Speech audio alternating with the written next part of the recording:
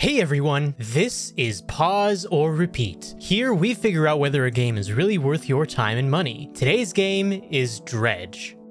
Do you enjoy a good fishing game? Well, Dredge might be just for you. But it isn't just your average fishing game. You'll quickly realize that there is a mysterious atmosphere afoot filled with eldritch, Lovecraftian horror. It plays perfectly into the mysteries that the oceans hide. But how does this affect gameplay? The gameplay of Dredge greatly involves you going out to fish by boat. While you're out fishing, you're playing a game of inventory management due to your limited carrying capacity. After fishing, you can go back to town and sell your fish for a profit to further upgrade your ship. All the while, you're also completing quests for the townsfolk. However, if you decide to sail during the night, that's where things get interesting. During the night, you have a sanity meter that will deplete the longer you are on the waters. As your sanity depletes, you start to encounter horrors attempting to end your escapades. Whether they are a figment of your imagination or not, they definitely do real damage to your ship, which will eventually break, sending you back to your last save point. How does this all play into the story?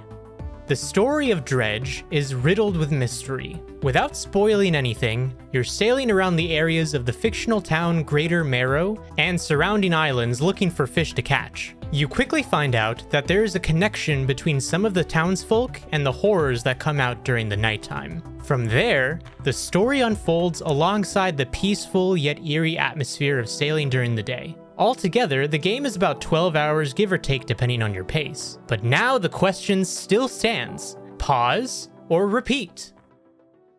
Yeah, Dredge came out of left field this year. Like, no, I don't think anyone was expecting it to be this game that, you know, came out to such a widely accepted uh, view of, oh, this game is really, really good, actually.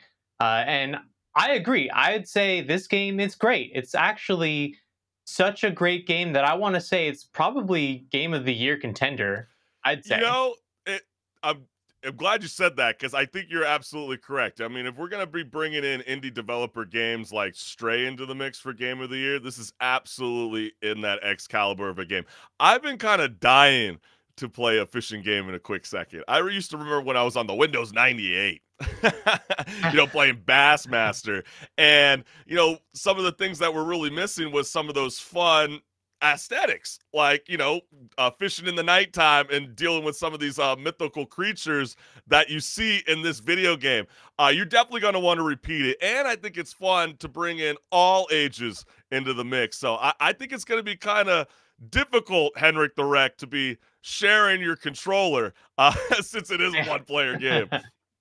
Yeah, I mean, I know there's a lot of hard hitters this year in terms of game of the year, and you know we'll be talking about a couple of them maybe in one of our topics later on. But uh, I, I still think you know this one's definitely up there this year, at least so far. And I mean, maybe that's part of me just being someone who loves horror, but I think this game's great. It's definitely a repeat for me, and I recommend anyone who's watching to play it as well because you'll have a good time. Yeah, I think that's absolutely correct, my man. And I think uh, we might as well leave that on a final note because you said it so perfectly. so you're uh-huh. into Jaws of Moby Dick. This is the game for you. So I guess I'll say it right now. This is a definite repeat